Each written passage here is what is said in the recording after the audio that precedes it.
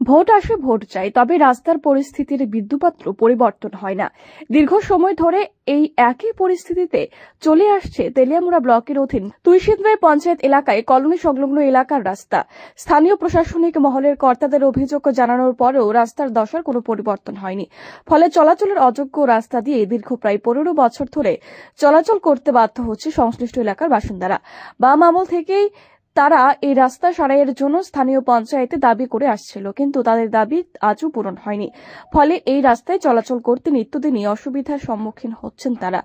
অসুস্থ রোগী থেকে শুরু করে ছাত্রছাত্রী এবং এলাকার বয়স্ক নাগরিকরা প্রতিদিন ছোট বড় দুর্ঘটনাগ্রস্ত হচ্ছে বলেও জানায় এলাকার জনগণ। এছাড়াও এই রাস্তার একটি ফুট ব্রিজ রয়েছে যা বাঁশের তৈরি।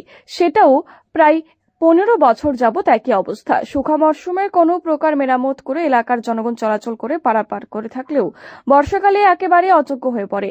জরাজীর্ণ এই ফুট ব্রিজটিকে স্থায়ীভাবে করে দেওয়ার দাবি তুলেছিল বিগত সরকারের আমল থেকে। বিগত সরকারের আমলে কেউ তাদের দাবি শুনেনি। জানা যায়, সরকার পরিবর্তন হওয়ার পর এই ফুট ব্রিজ টিকে স্থায়ীভাবে করার উদ্যোগ নেওয়া হয়।